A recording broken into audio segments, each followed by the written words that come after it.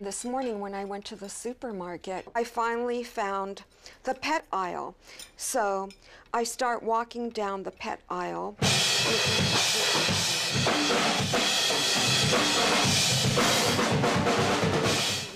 You know, they're seniors now. I got them when they were two and three, but they're now 12 and 13, so we're three seniors.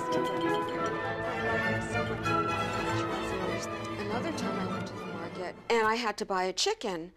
I checked the date and it was like a month ahead. So I thought, okay, there was a long expiration.